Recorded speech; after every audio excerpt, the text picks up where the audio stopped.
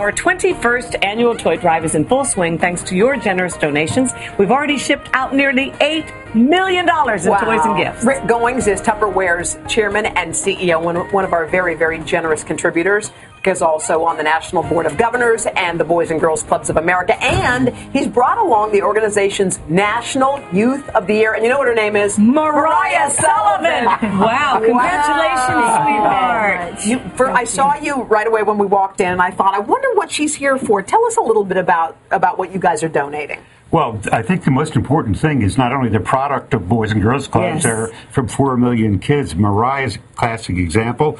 And we have distributed through the years to the clubs Yeah. more than 50 million Yes. in toys Yeah. from the Today Show. And this year, So what is this? that?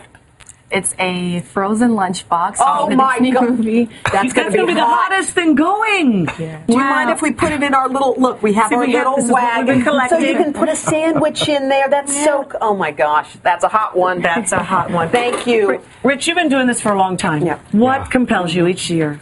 Uh, this. Yeah. This is what Maryah. happens. You bring us a great kid And, uh, every year. Yeah, I mean, she's, uh, she's now in school. Tell, tell about what you're going to be, what you're studying. Yeah, I'm actually studying biomedical sciences to be a neurosurgeon. I want to research brain cancer. We're shocked. We're just- you're know what? I have no doubt you're going to do Maryah, it. God bless you, congratulations. Thanks for coming you. to see us. And Rich, Thank thanks you. for all you do. to be here. Don't forget, our toy drive runs through December 19th. You can donate on the plaza or online. The details are on klgnhoda.com.